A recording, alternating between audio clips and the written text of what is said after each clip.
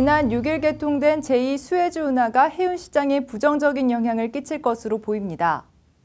이집트 수에즈 운하청은 기존 수에즈 운하와 평행하게 건설된 72km 구간의 새로운 운하를 착공 1년 만에 개통했습니다. 이로써 운하 통과 시간이 종전 18시간에서 11시간으로 대폭 줄어들 것으로 예상됩니다.